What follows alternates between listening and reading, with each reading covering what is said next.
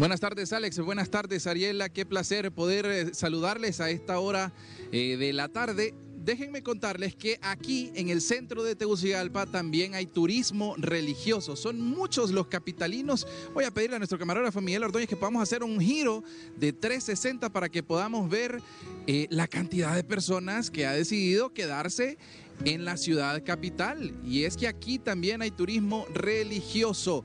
Los eh, alrededores de la capital metropolitana, San Miguel Arcángel, pues siempre son un interesante atractivo, puesto que se ha comenzado la fabricación de las tradicionales alfombras. Ya les hemos estado mostrando un poco acerca del avance, pero también hoy quiero mostrarles esto que está justamente aquí frente a la concha eh, artística del eh, Parque Central de Tegucigalpa. Y es que hay algunas imágenes también representativas del triduo pascual, tal cual nos lo mencionaba don Roy Arthur en su nota, muy acertada, por cierto, en donde, bueno, aquí podemos ver a Cristo crucificado y un letrero en la parte de abajo que nos narra el porqué de la muerte de Jesús, justamente para lavar y perdonar todos nuestros pecados. Está también otra de las imágenes eh, que es María Santísima que acompañó a Jesús durante todo el recorrido de la cruz, que justamente eso significa también la palabra vía crucis,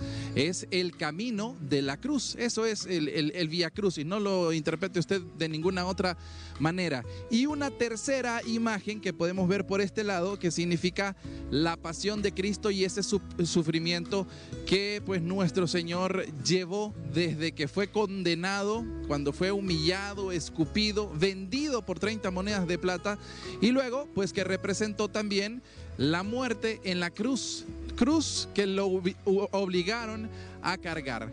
Pero la, buena noticia para nosotros los cristianos, y es esa buena nueva que nosotros siempre gritamos, es ese sepulcro que está a mis espaldas, este sepulcro que está vacío. En ese sepulcro no hay nada. Lo, ha mencionado Max Serna tantas veces en HCH Radio, que usted puede ir a la tumba de Mahoma, puede ir a la tumba de Buda, y ahí están los restos de Buda, los restos de Mahoma, pero en el sepulcro donde murió Jesús no hay nada. No hay nada porque está vacío. Y es eso lo que nuestros hermanos de la alcaldía han decidido representar en este sepulcro. Voy a, ingresar un poco aquí aunque le, va, a cambiar un poquito ahí la, imagen a ustedes, pero aquí podemos ver la representatividad de un Jesús acostado en, este sepulcro. Pero que este Jesús no va a estar más aquí a partir del día domingo de resurrección y que ha resucitado con gloria. También acá en el parque, tal cual ustedes lo están viendo en imágenes de Miguel Ordóñez, pues hay eh, pinturas representativas de, los cuadros eh, bíblicos, de esos cuadros que han sido eh, plasmados para poder entender de una mejor manera el misterio de la pasión, muerte y resurrección de Jesús. Quisiera pedirles que me acompañen por acá porque ha sido montado también un museo un museo en donde se ha tenido una réplica, o se tiene una réplica de el Santo Sudario de Turín. Les comento así rápidamente qué es esto. El Santo Sudario de Turín es la manta en la que fue envuelta Jesús para ser depositado en el sepulcro. Y esa manta ha quedado plasmada con el rostro de Jesús y quedó plasmada justamente en sangre. Esta es una, una réplica de, ese santo sudario de Turín que fue plegado y justamente por eso tiene esas formas eh, en, en cada uno de los pliegues con la sangre de Jesús. Lo vamos a entender de una mejor manera en una imagen que tenemos por aquí, se las quiero mostrar, que esa imagen justamente quedó impresa en ese santo sudario. No es algo que haya pintado Picasso, no es algo que haya pintado Da Vinci, no es algo que haya pintado cualquiera de los pintores famosos, no, es el Santo Sudario de Turín. Vemos también otros objetos también representativos de, de, la Iglesia Católica, esto que no es lógicamente la corona original que se le colocó a Jesús, pero sí en este pequeño museo religioso que está aquí en la concha acústica pues que ha eh, demostrado justamente lo que, lo que sufrió nuestro Señor Jesús. Esta es otra muestra del sudario de, de Turín y que pues los eh, capitalinos podemos venir a disfrutar hasta aquí al Parque Central, la concha acústica.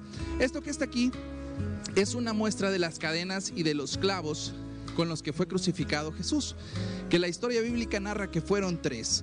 Estos que no son clavos con formas muy bonitas, eh, redondeaditos, ni siquiera. De hecho, estos que están acá, pues están bonitos con lo que se cuenta en la historia religiosa que fue crucificado Jesús. Unos clavos rústicos que fueron incrustados en la piel que atravesó hueso, que atravesó músculo, que atravesó nervios para poder ser guindado en la cruz. Pero se nos dice también que no fueron los clavos los que sostuvieron a Jesús en la cruz.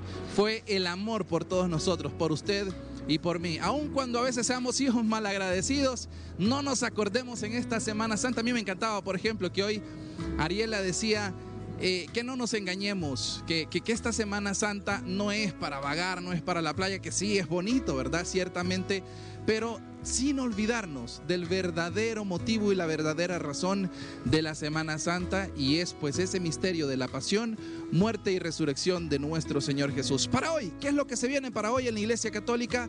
Ya lo hemos venido mencionando, es la celebración de la misa del lavatorio de pies en la última cena, la institución del sacerdocio y la aprehensión de Jesús. Por eso hoy se da también la procesión del silencio, una oportunidad para poder ir orando, para poder ir meditando en los misterios de la aprehensión del Señor, para mañana eh, pues encontrarnos con el santo Vía Crucis. En cámaras de Miguel Ordóñez, si no hay preguntas, Ariela, Alex, yo regreso con ustedes desde el centro de Tegucigalpa.